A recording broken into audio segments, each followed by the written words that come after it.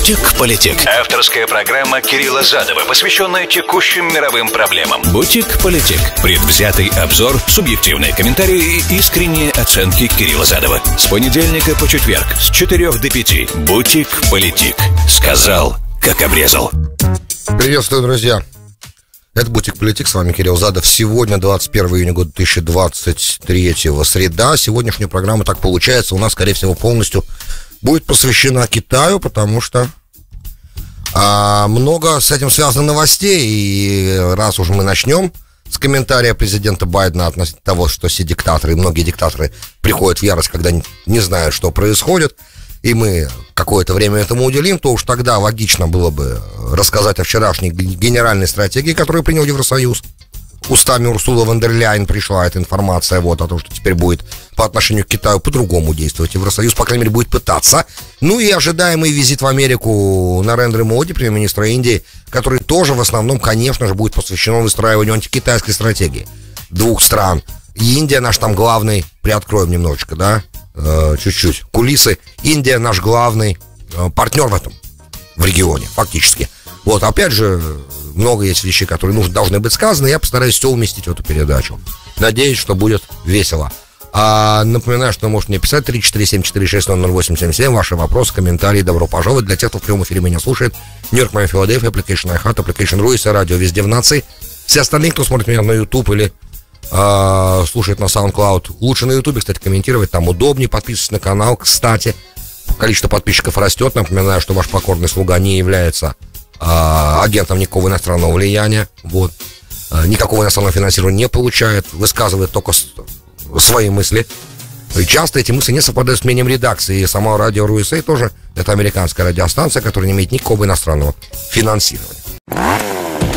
Бутик-политик. Сказал, как обрезал. Ну что ж, наш президент не первый раз делает комментарии, которые на самом деле немного странные. Особенно э, беря во внимание то, что э, традиция американской дипломатии, даже не то, что дипломатии, а того, что обычно, если есть дипломатические отношения между странами, что обычно и ожидается, кстати, большие встречи, и они проходят, и идет определенный диалог с этими странами.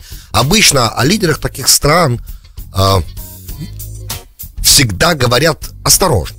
Ну, по крайней мере, традиция называть диктатором лидера страны, с которой э, Соединенные Штаты намерены вовлечься в дипломатический серьезный процесс, была. Да, не говорить таким образом. То есть, ну, это впервые в истории, наверное, мы э, сталкиваемся с подобной ситуацией. Хотя, опять же, для правильного, для грамотного пресс-секретаря, став Белого дома, команда Белого дома, она достаточно профессиональна для того, чтобы попытаться, э, как и в предыдущих случаях, когда в отношении Китая были использованы некоторые слова администрации, особенно касательно Тайваня, которые, по идее, по идее, нарушали, а, нарушали One China, э, One China Policy, да, политику одного Китая, по крайней мере, на словах, которые, по крайней мере, мы анонсируем, и на словах же придерживаемся, и это то, как бы, э, главный результат поездки когда-то Киссинджера к Мао в 70-х, и потом Никсоном встреча, и, короче, всего, что происходило, да, Китаю нужно было многие вещи, в том числе, естественно, для того, чтобы дружить э, с Америкой против Советского Союза, нужно было, чтобы э, сепаратистские тенденции Тайвань не поддерживались США.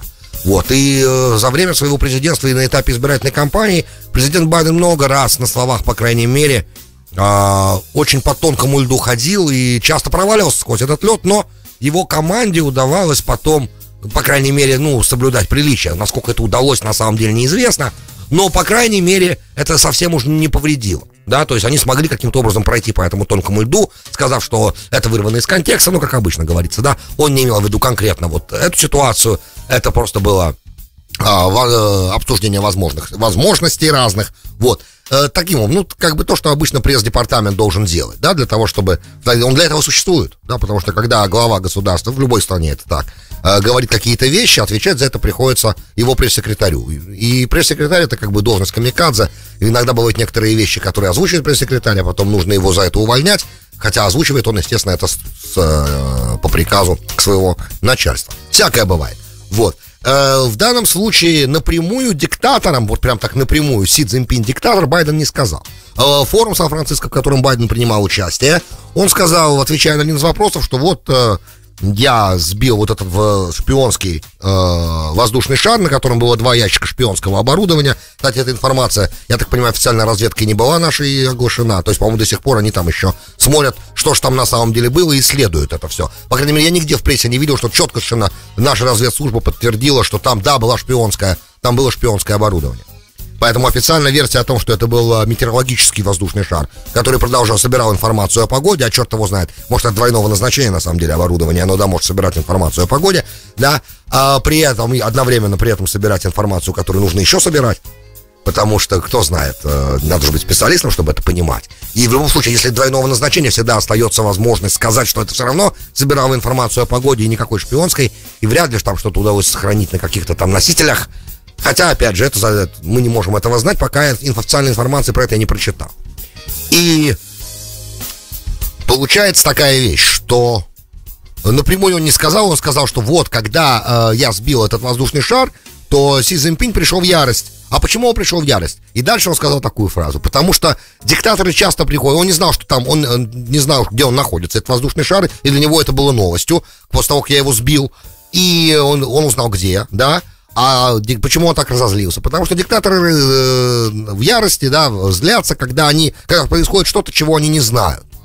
Вот примерно такую фразу сказал Байден, и это, естественно, вызвало дикий фурор в Китае. Э, пресс-секретарь Министерства иностранных дел Китая уже сказал, что это э, нарушение, как бы, это попытка принизить китайское достоинство, то есть все, все необходимые слова, которые в таких случаях говорятся, он сказал. Правда, правда, при этом.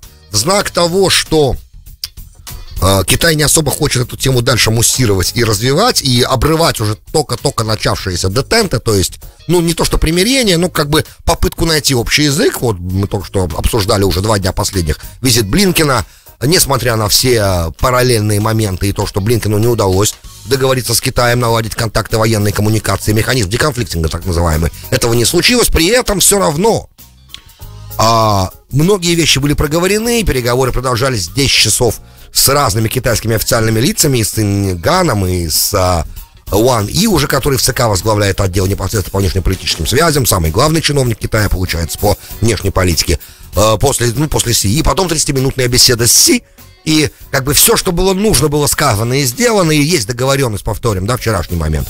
Э, есть договоренность э, о визите Дженнет Йеллен туда теперь поговорить относительно финансовых всяческих рисков, и есть э, договоренность о визите Джона Керри, специального представителя Белого дома по по климату, да, потому что климат интересует и, и Соединенные Штаты, и Китай, потому что есть большие производства, есть загрязнение, конечно же, и, и если Китай может получить какие-то средства из фонда, о котором было договорено э, при разных климатических саммитах для того, чтобы бороться с загрязнением окружающей среды, э, я даже сейчас не говорю про там типа сжигать меньше угля, это вряд ли может произойти, но теоретически все возможно. Если Китай сможет получить столько газа, и это будет экономически выгодно перейти на газ э, для электростанций, почему бы нет? И это, ну, в любом случае, мы понимаем, что Китай это огромная фабрика, поэтому не так-то просто там э, уменьшить количество всяческих загрязняющих факторов. Но они хотят, хотели бы, потому что дышать-то чем-то надо, а вы видели картинки Пекина и Шанхая, я думаю, все. В общем, есть о чем разговаривать, и тут приходит этот комментарий, и самое интересное, что как комментарий, так и реакция китайской стороны на этот комментарий. Я сейчас не хочу напоминать предыдущие ляпы нашего президента по поводу других лидеров, которые были и которые непозволительны. А, да, чуть не забыл сказать. А, пресс-секретарь МИДа, он также ответил, отметил, что то, что сказал Байден, не соответствует действительности, это вне факты, это идет против тех фактов. То есть, а, Си Цзиньпинь знал, где находится его воздушный шар, и б, он не диктатор. И с точки зрения юридической это правда, так он не диктатор, потому что, во-первых, диктатура означает тоталитарное общество, тоталитарное государство, точнее. И Китай не тоталитарное государство, а авторитарное государство. Разницу, если вас не затруднит, потом посмотрите в гугле, сейчас не будем на это тратить времени. Вот. А Китай это государство авторитарное. Это да означает, что э, диссидентство не приветствуется, диссиденты подвергаются репрессиям, но нет массовых репрессий, да, и нет, там много, там, там много есть моментов. Э, это первое. Второе, он не диктатор, потому что он правит с одобрения большинства населения. Как это можно проверить? Очень просто можно проверить. Мы же понимаем, что многочисленная китайская коммунистическая партия, э, она является само собой представляет, естественно, разные свои общества Китайской Народной Республики, правильно? И все-таки он, процесс э, из выборов происходит на уровне ЦК и на уровне э, съезда э, китайской компартии, это очень большой срез нации. Плюс, э, опять же, исходя из того, что происходит в самом Китае, из того, как это выглядит со стороны, видно, что и национализм китайский сегодня на подъеме внутри самой страны, особенно среди молодежи, что, как бы, опять же, подтверждает, что основная масса китайского населения э, довольна, не то, что довольна, слово «довольно» здесь неправильно, принимает своего лидера. То есть правит он Китаем легитимно, соответственно. Если большинство наций принимает своего лидера, его правление легитимно. А каким образом он оказался на этом посту, это может быть как бы не совсем так важно, особенно учитывая, что мы говорим о китайской цивилизации. Мы не говорим о, о цивилизации западно-христианской или восточно-христианской. Поэтому и это другая, одна из шести по цивилизаций, и там вот такая форма правления принята традиционно. Да, мы не, особо не видели на, на, на этой огромной территории демократии. Никогда. Единственное исключение Тайвань, который тоже не начинался, кстати, как демократия. Это сейчас он демократия. А начинался он тоже, как на самом деле, наверное, диктатура, как раз он, да? Но, опять же, оставим пока этот вопрос в стороне, это уже для историков рассудить. В любом случае, называть диктатором Си Цзиньпиня было ни в коем случае нельзя. Это не только мое мнение, это мнение большого количества экспертов, комментаторов, э, естественно, самого Си Цзиньпиня. Но самое главное, что, э, да, значит, э, то, что китайцы не хотят усугублять эту ситуацию сейчас, показывает, что в официальном пресс-релизе который был потом опубликован с э, текстом выступления пресс-секретаря Китая, э, Министерства дел Китая, не было фразы о том, э, что это невероятное как бы оскорбление Китаю, что это принижает его достоинство, вот этих слов там не было. Вот. Это как бы знак того, что Китай не особо ищет сейчас ухудшение достаточно тяжелой ситуации и так. А, Китай ожидает каких-то все-таки позитивных моментов и от визита Блинкина, и от следующих визитов, которые будут. Никаких разговоров о том, что какие-то визиты будут отменены, или что э, теперь будет сложнее встречаться. Проблема, как бы, главная в том, что это показывает и комментарии китайской реакции на уровень недоверия между двумя лидерами. Это, честно говоря, мне не совсем понятно, потому что и Байден, и Си Цзиньпинь общались до того, как Байден стал президентом, тоже очень много и часто. И начиная с президентства Обамы, когда Байден был вице-президентом, очень много раз они встречались, они виделись.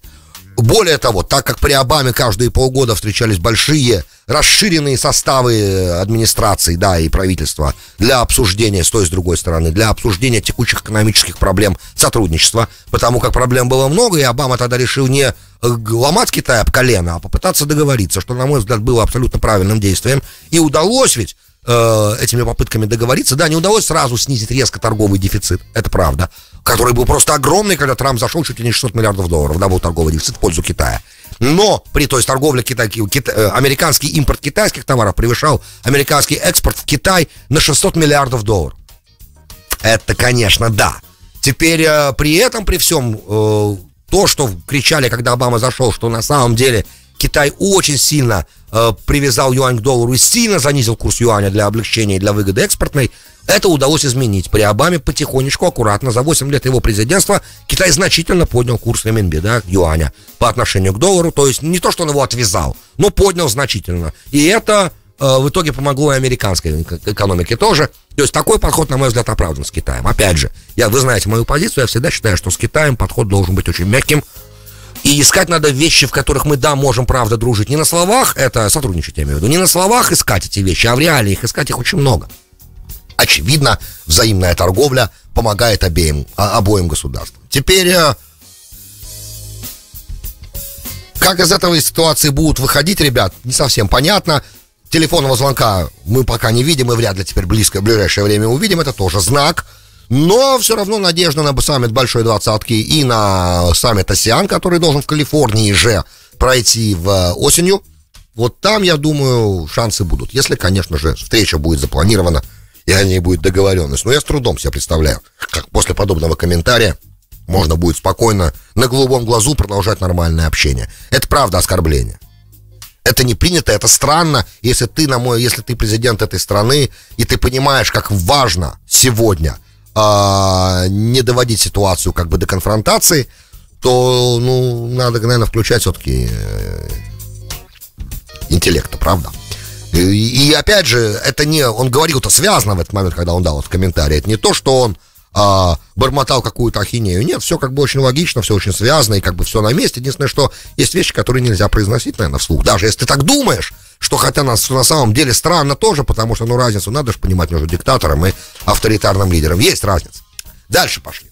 А, если бы он сказал, что Си Цзиньпинь не является демократически избранным лидером, это была бы одна история. Но он сказал диктатор, правда, не назвал его. Поэтому для пресс-службы есть возможность сказать, что он имел в виду, в принципе, как э, э, разные лидеры злятся, да, из-за чего они могут как бы вступать, э, из-за чего эти лидеры могут Сейчас попробую стать пресс-секретарем на секунду, да, Карин Жан-Пьер. Из-за чего? Из-за чего лидеры... То есть он просто, Байден не называл Си Цзиньпиня диктатором, он просто обозначил причины, по которым э, лидеры некоторых государств, авторитарных, например, можно даже сказать, э, приходят как бы э, в, в, в беспокойство. Да, вот что-то примерно такое.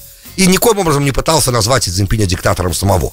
Что не, недалеко от истины, он же не сказал, вот Си Цзиньпинь диктатор. Такой же фразы не было. Вот, то есть, ну, я что буду подсказывать Карин Жан-Пьер, как правильно из этой ситуации выходить? Ну, как-то надо. Правда, иначе странно было бы, да, потом как-то им лично встречаться и общаться. Пошли дальше. А, я уже не говорю о том, что мы о Китае говорим, где вообще очень много значения придается определенным вещам, которые делаются на публику. Это другая цивилизация, другая, это не англосаксонская тема. Дальше пошли. А, была опубликована вчера большая такая доктринальная бумага о том, как Евросоюз должен себя вести по отношению к странам, которые могут представлять э, для Евросоюза, для стран Евросоюза угрозу по двум направлениям. Первое направление это, простите, я хочу, э, supply chain disruptions, то есть то, что называется, когда э, цепочки поставщиков разрушаются, это первое, и мы это наблюдали в пандемию четко потому что, ну, закрыт был Китай. Это первый момент. И второй момент э, использования европейской технологии или знаний для другой страны, э, для, для э, военной машины или разведки другой страны. Типа как бы вот э, то же самое, что почти говорит американская администрация, наша администрация здесь, да, потому что, ну вот, э, да, кстати, бумагу эту комментировала публично уже Урсула Вандерляйн, она говорит, что нет, ребят, мы не то, что хотим декаплинг, да, не то, что мы хотим развода с Китаем, мы хотим с Китаем а, э, риск, то, что называется. То есть э, уменьшить риски. Мы хотим контролировать риски, которые есть. Все-таки полтора года войны в Украине уже идет. И э, вот с Россией-то произошло не уменьшение риска, а уже раз, развод фактически, да, произошел. То есть расторжение почти всех экономических связей, которые есть. И Европа бы этого очень не хотела в случае с Китаем, потому что если э, э, Россия получала от продажи, например, газа и других энергоресурсов на европейском рынке миллиард в день, то э, я не знаю, сколько сейчас после взрыва Северного потока, не знаю то Китай торгует с Евросоюзом на 2 миллиарда 600 миллионов долларов в день. В день.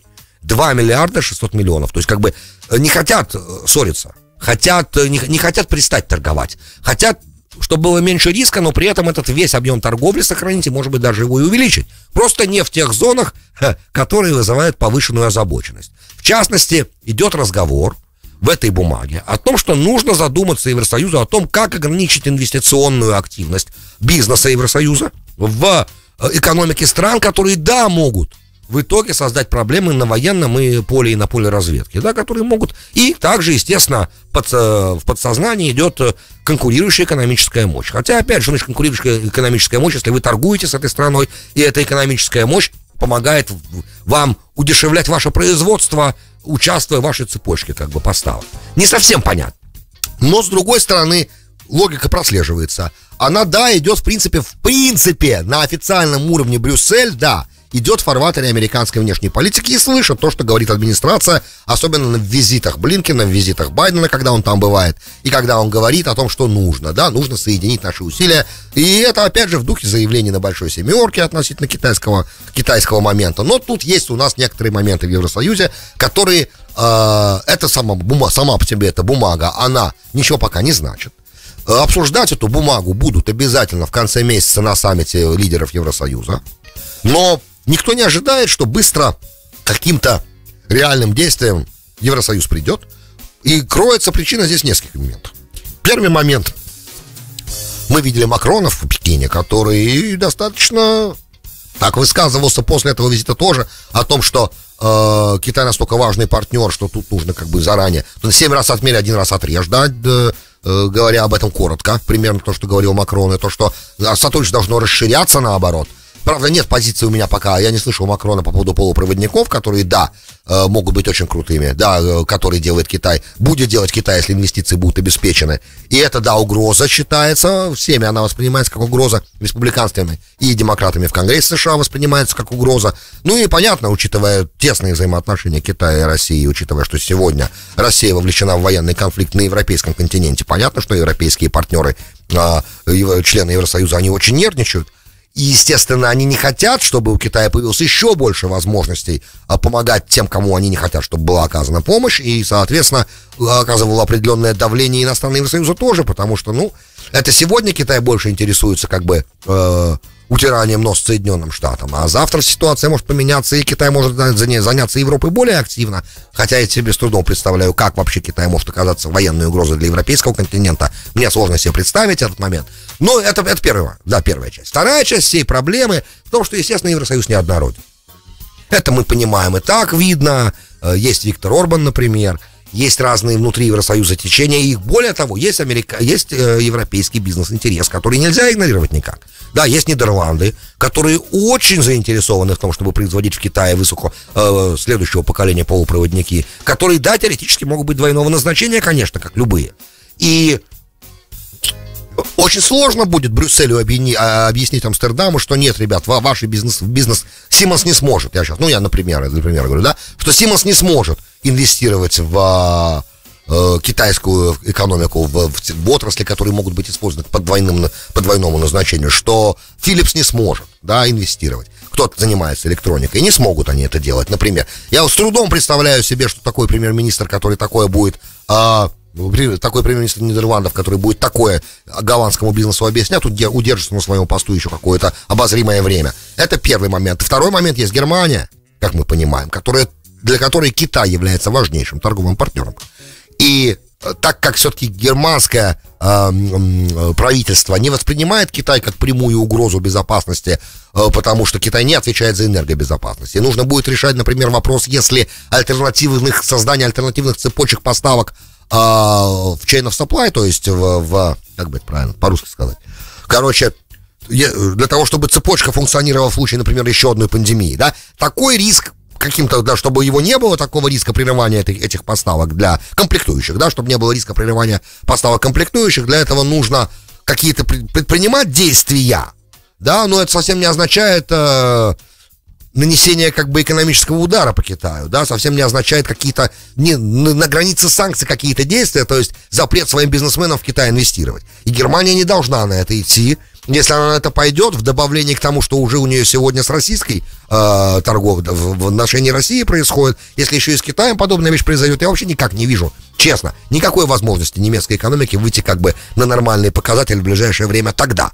А мы понимаем, в каком мире мы сегодня живем, и много есть проблем. Короче, эта бумага, она открывает очень большие возможности теперь для дискуссий внутри Евросоюза и оживляет старый спор, что такое Брюссель, да? Это Соединенные Штаты Европы или это Содружество независимых государств? Основные-то вопросы национальной безопасности все равно лежат в ведении государства. Для многих стран и почти для всех здоровое состояние экономики является вопросом национальной безопасности в том числе. И с трудом можно себе представить, что какой-то момент сильного ограничения инвестиционных потоков может э, в итоге не сказаться на, на, на экономике этих стран. Придется, будем внимательно за этим наблюдать, это интересный процесс, и он пошел уже, да, он уже пошел. Бутик-политик. Сказал, как обрезал. Добро пожаловать в Бутик Политик. С вами Кирилл Задов. Сегодня э, 21 июня года 2023 среда. Обещал э, прокомментировать уже, в принципе, начавшийся визит на рендер моде. Просто он пока еще не в Вашингтоне, но вчера в Нью-Йорке я встречался с Илоном Маском. Например, премьер-министр Индии обсуждалось э, у этого визита, визита сверхзадачи, о них чуть позже, но обсуждалось на самом деле с Маском, как сказал потом Маск сам, обсуждалось вложение э, Теслы Илона Маска в Индию и, естественно, новые заводы там которые Тесла намерена строить, как я понимаю. Кстати, и по SpaceX тоже, может быть, какие-то там есть моменты. И, э, как сказал Маск после всего этого разговора, что на самом деле э, я намереваюсь это делать. Вопрос только, который мы обсуждали, это тайминг. Когда это нужно делать? Да? То есть правильно, вложения нуждаются еще в правильном времени. Надо делать эти вложения. Вот, и э, все должно быть на мази, все должно получиться. Скорее всего. Таким и будет, скорее всего, результат. Э, Индия экспертами сегодня считается э, самым большим, ну, в плане населения, так уже все знают, Индия обогнала Китай. Индия пока считается демократией. Вот, кстати, эксперты сказали, если индийская политический строй сегодня квали, квалифицируется как демократия, если, да, уже теперь эксперты вот так говорят.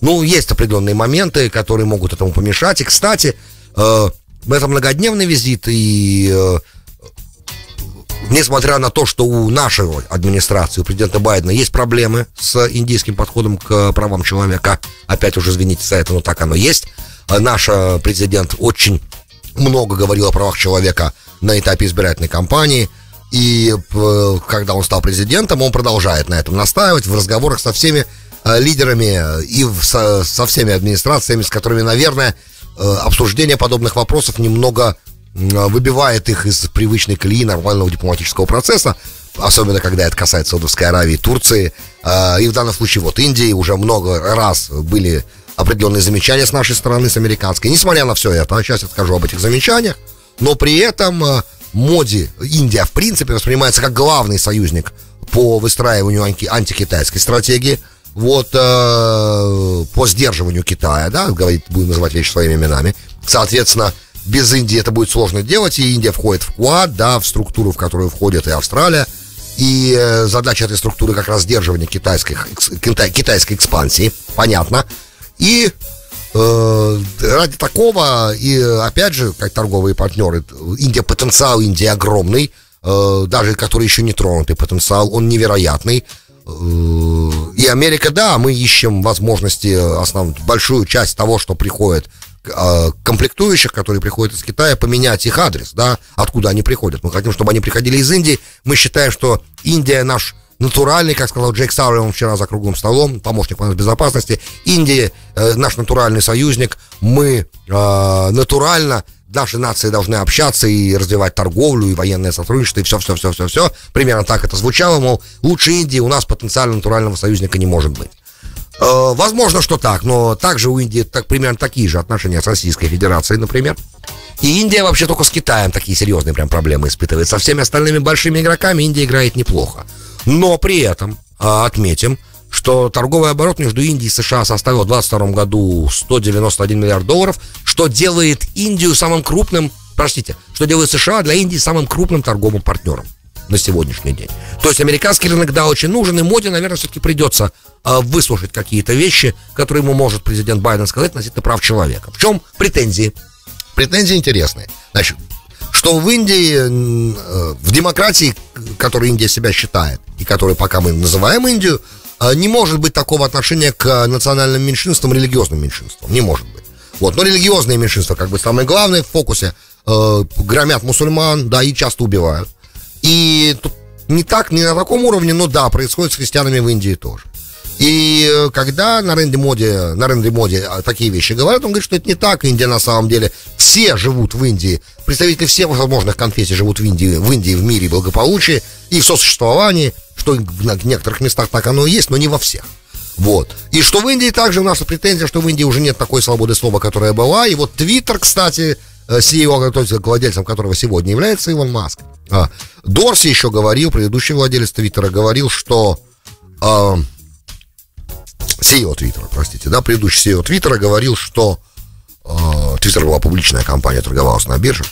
А, говорил он, что периодически за последние там 7-8 лет они получали э, от индийского правительства уведомление о том, что те или иные комментарии некоторых индийских журналистов должны быть с Твиттера сняты. Если нет, то Твиттер, скорее всего, встретится с большими штрафами и так далее, и так далее.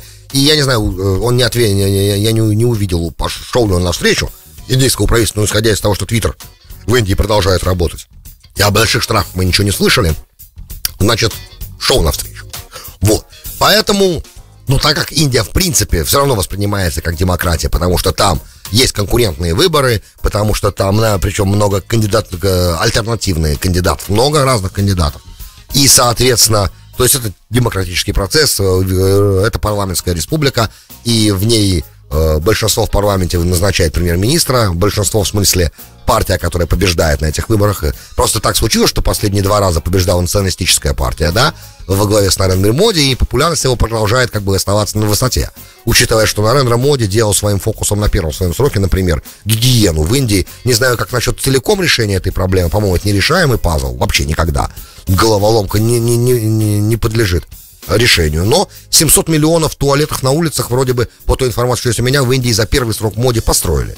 А то до этого прям можно было наблюдать, как люди э, прям где угодно справляют нужду. Прям совсем-совсем где угодно. Это прям... Я уже не говорю о том, во что превращен Ганг, как бы, и там много есть других инфраструктурных проблем, много чего есть, но к демократии как бы это имеет мало отношения. Можно быть э, демократическим государством и жить как бы в фекалиях тоже. Опять же, Ничего не хочу плохого говорить про Индию, это великая цивилизация, правда. И опять же, сегодня Международный день йоги, я поздравляю всех причастных к этому празднику. Сегодня день солнцестояния. Вот, я к тому, что самое интересное еще, попутно ко всему прочему, да, э, Нарендра Моди получит state dinner, да, государственный ужин, государственный обед, которого до него удостоились только Макрон и Юк Су Ю, да, э, корейский лидер, э, новый. До это за, за работу этой администрации третий человек, который получает такие почты. И да, Нарендра Моди выступит перед Объединенным э, Конгрессом. Что тоже знак очень большого уважения с американской стороны. Так что, может быть, в таком, э, при таком раскладе особо сильно не будет э, он обращать внимание на то, что Байден будет ему говорить про то, как надо соблюдать правильно права человека. В любом случае, все эксперты говорят, что администрация должна воздержаться от того, чтобы это не выглядело, не дай бог, этот разговор не выглядел как э, чтение нотаций или какие-то публичные претензии. Этого ни в коем случае быть не может. Ни лекции, ни нотации, это разговор должен быть равных партнеров. Тогда, я думаю, все получится. Но это, по-моему, касается всех, не так ли? Друзья, большое спасибо, что были со мной. С вами был Кирилл Задов. Вы слушали «Бутик Политик». До встречи завтра. Бутик Политик. Сказал, как обрезал.